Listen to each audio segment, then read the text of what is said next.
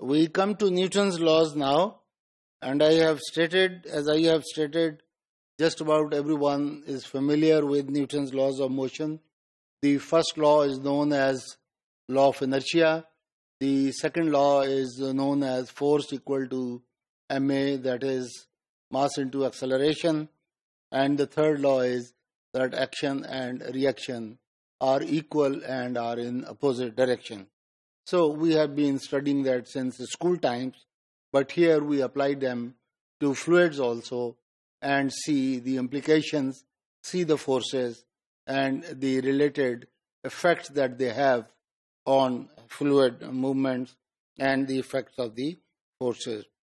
So the relation between motions of the bodies and the forces acting on them. Newton's first law, a body at rest remains at rest or if it is in motion, it remains in motion uh, unless there is no external force applied on it, or if the net uh, resultant force is zero. So the same thing. So this is known as law of inertia. That is, it tries to retain its whatever condition the the body is in. If it is moving, it tries to it tries to keep moving. It has a tendency to keep moving.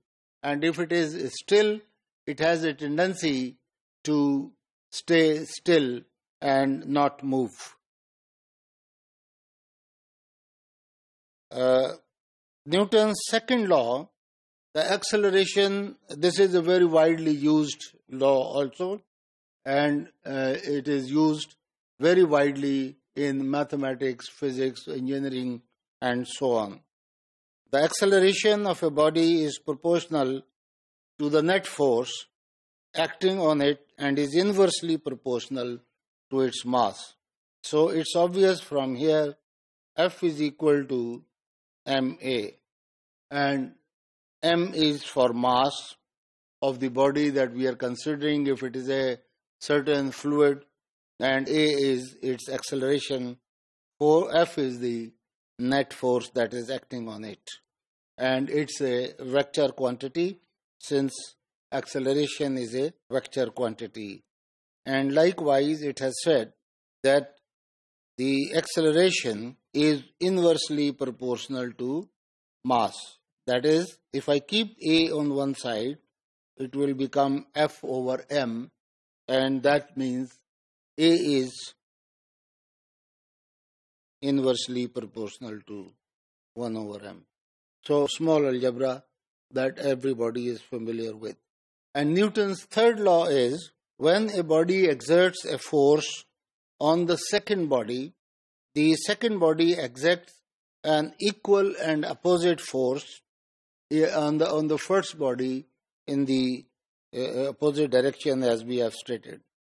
Therefore, the direction of an exposed reaction force depends on the body taken as the system as a whole. If we need to write it in mathematical terms, as I have just written and mentioned, that F is a force and it's a vector quantity.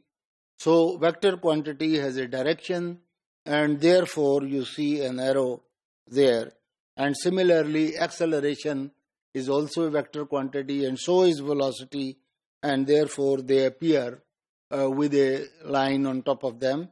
And even if it is not there then we in mathematics we are familiar that these are vector quantities and they have a direction. So force is equal to mass into acceleration.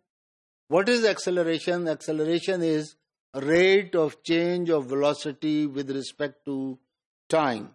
So that is mathematically represented as d by dt of the quantity v. d by dt, rate of change of v with respect to t is written here and this can also be written as d by dt into m into v because this can be clubbed together, mass and velocity can be clubbed together because mass is a scalar quantity and it cannot be created or destroyed and therefore dm by dt will be zero anyway. So even if we write it this way or this way, both of them are okay. And but these three are very familiar forms that the second law of motion, Newton's law of motion, is represented in mathematical terms. Uh, you are already familiar with momentum also, but uh, we formally define here momentum as uh, the product of mass into velocity, and mass into velocity of the body is known as momentum. It's very important term, although very simple, but we shall be using them again and again because it plays in action of forces time and again. Newton's second law is usually referred to as linear momentum equation.